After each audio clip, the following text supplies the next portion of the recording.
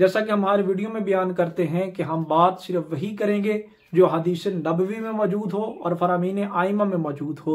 ए हसनैन के नाना, ए जहरा के बाबा, ए सैदुलम्बिया आप हमें बताएँ कि अल्लाह ने इंसान को सबसे पहली नेमत क्या दी है? वो नेमत अव्वल क्या है जिससे खुदा ने इंसान को नवाजा है? इसलिए हमाद अहल बैत शहीद मोहसन नकवी ने फरमाया बिस्मिल्लाहिर्रहमानिर्रहीम अस्सलाम वालेकुम या अली मदद। शामिन ग्राम कदर, आज की इस वीडियो में हम गुफ्तु करेंगे कि नेमत अव्वल से मुराद क्या है। इंसान के लिए सबसे पहली नेमत क्या है? लेकिन इससे पहले जिन लोगों ने अभी तक हमारा चैनल सब्सक्राइब नहीं किया, हमारा चैनल सब्सक्राइब करें, ताकि इस तरह की मजीद इन्फॉर्मेटिव वीडियोस आप तक पहुँचती रहें। आइए चलते हैं अपने वापस मौजू की तरफ़ कि सबसे पहली नेमत क्या है, नेमत अव्वल से मुराद क्या है। यूँ तो उस खुदावंद करीम ने इंसान को बेशुमार नेमतों से नवाजा है अगर हम बहसीत इंसान उसकी नियमतों का शुमार करना भी चाहें तो हम सारी ज़िंदगी भी उसकी नियमतों का शुमार नहीं कर सकते। इंसान होने की हैसियत से अगर हम अपने जिसम पे नज़र डालें तो उसने हमारे जिसम में बेशुमार नियमतों को रखा है। उसने हमारे जिसम में आँख जैसी नियमत को रखा है।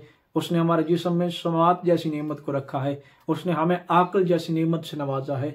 यानी बेशुमार अनगिनत नियमतें उस खुदा ने हमें अता की हैं। लेकिन इस वीडियो में हम बयान करेंगे कि सबसे पहली नियमत क्या है? जो खुदावंद कदूस ने इंसान को दी है। नेमत अव्वल क्या है?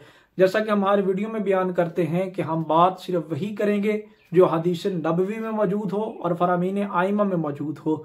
लिहाजा आइए इस सवाल का जवाब ढूँढने के लिए भी दहलीज रिसालत पे चलते हैं। दहलीज रिसालत पे जानो अदब तय करके, हाथों को जोड़ के, आँखों को बंद करके सवाल करते हैं। ए हसनैन के नाना ए जहरा के बाबा ए सैदुलम्बिया आप हमें बताएँ कि अल्लाह ने इंसान को सबसे पहली नेमत क्या दी है? वो नेमत अव्वल क्या है जिससे खुदा ने इंसान को नवाजा है? अब इसका इतना हसीन जवाब मिला हमें अहदीस नबवी में से कि यकीनन सुनने के बाद आपके दिलों में ठंडक महसूस होगी।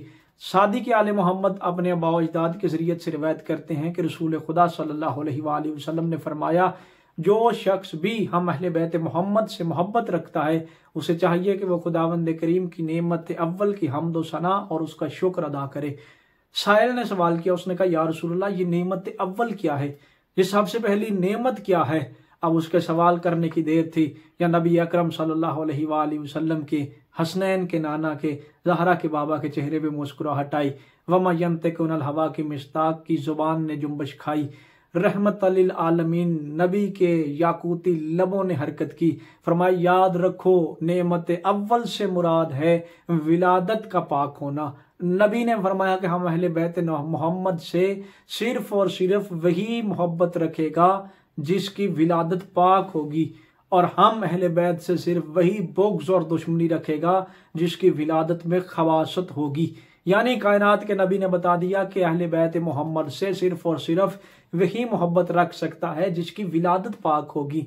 तो आज के बाद ये झगड़ा न करिएगा, इस बात पे बहस न कीजिएगा कि फलां शख्स मोहम्मद मुस्तफ़ा की आल से मोहब्बत क्यों नहीं करता, फलां शख्स अली को अच्छा क्यों नहीं समझता। नबी ने मैार दे दिया है कि मोहब्बत अहल बैत से वही करेगा जिसकी विलादत पाक होगी। नेमत अव्वल से मुराद क्या है? ये सुनने के बाद अगर आपके दिलों में ठंडक महसूस हुई है तो एक दफ़ा अपने वालदेन का शुक्रिया ज़रूर अदा कीजिएगा। इसलिए हमाद अहल बैत शहीद मोहसन नकवी ने फरमाया था, क्यों दुश्मनी है तुझको? अली हुसैन से, फुर्सत मिले तो पूछ कभी वालदेन से।